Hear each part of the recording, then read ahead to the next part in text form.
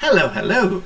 It's Speak Now 3, Lesson 10, Part A. Sorry, my mistake. Um, what is this about? In this lesson, we are learning how to point out mistakes politely. Tá tudo errado! Não é assim que faz! Uh, that's not exactly the most polite way to point out mistakes or to mostrar que tem um erro. And this is also about apologizing for mistakes. This is obviously apologizing, right? Sorry, my mistake is apologizing, saying you're sorry. But pointing out mistakes is an art. We, most of the time, we don't want other people to get sad, angry, because of what we are saying. So when we point out mistakes, we should do that politely to help people not to get sad or these things. The first exercise is about some ways that people point out mistakes. Let's complete the sentences with the correct words. And we have these words here. Overcharge, undercharge, receipt misspelled, change missing. Well, I believe that we understand all these words. Over is acima. Overcharged is overcharge is when we charge something more than its values. For example, imagine that this pencil costs mm, one real and the person charges you two reais. It was overcharged. Um, receipt. Receipt is the the recibo or something like that. Misspelled, spelled incorrectly, not is spelled correctly. So imagine the name that is not correct is this misspelled. Change. You give some money for something and the person gives you back the difference between, for example, imagine that you pay this pencil 10 reais with a bill of 10 reais and it's only one. The person gives you 9 reais of change, 9 reais change. Missing um, imagine that the person gives you back 8 reais and then you can say oh there's one real missing because you you want uh, the correct change. There's one missing. You need the extra one right? And miss faltar. Undercharged? Imagine that the person charges you 50 cents and it's one real and you know it's one real. Would you accept that? Or would you say, oh, sorry, but I think it's one real, right? And you would, would you pay the correct value for it? Um, all right, we have these sentences, and the idea is for us to put the right words in the right gaps complete the sentences with the correct words.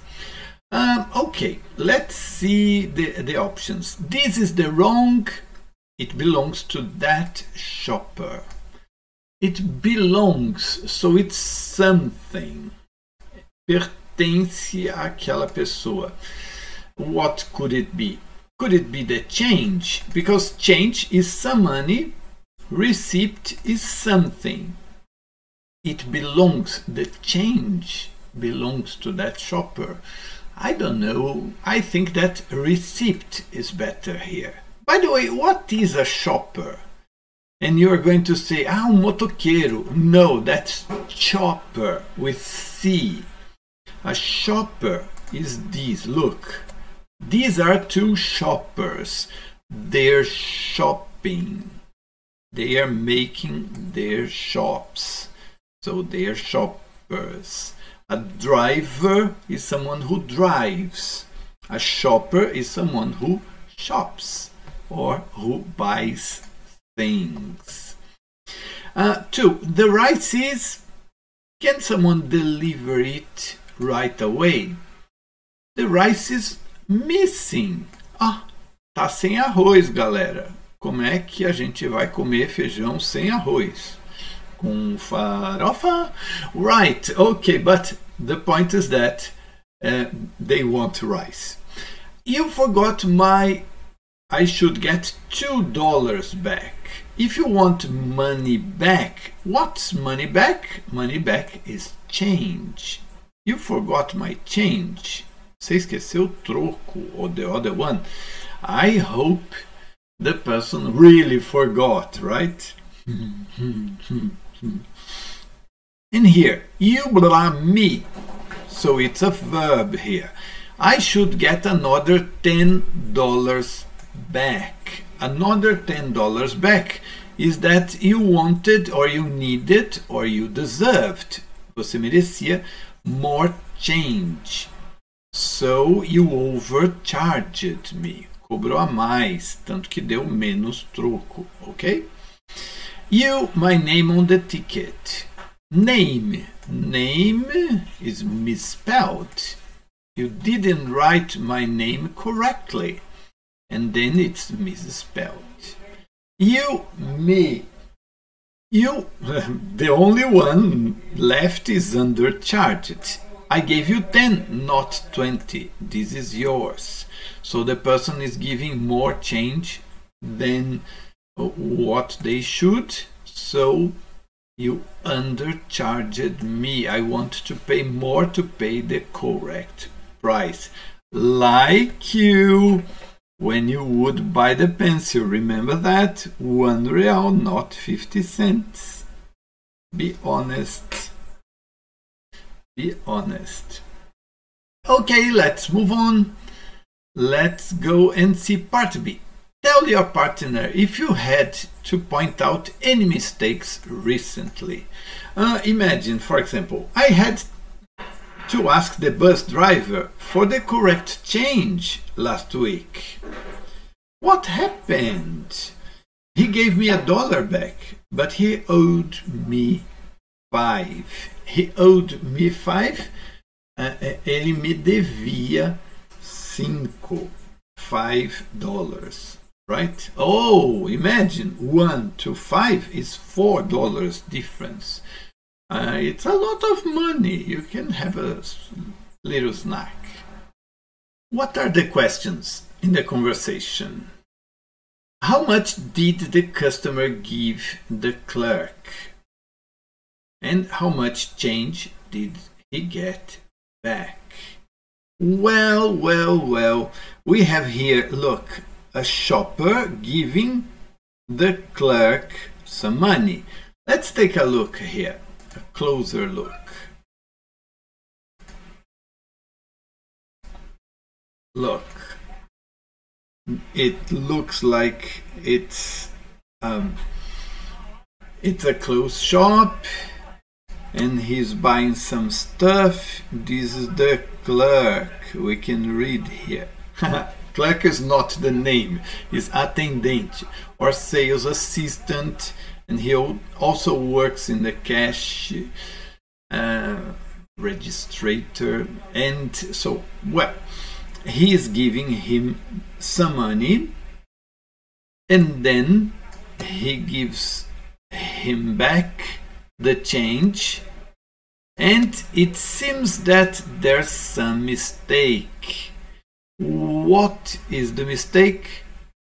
The point is that we have here how much did the customer give the clerk and how much change did he get he get back.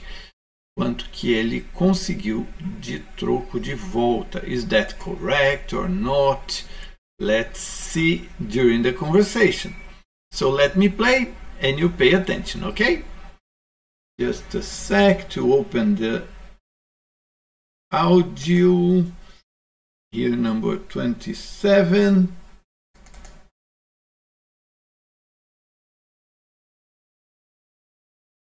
Lesson 10 Sorry, my mistake. Page 24. Conversation. A. Listen, how much did the customer give the clerk?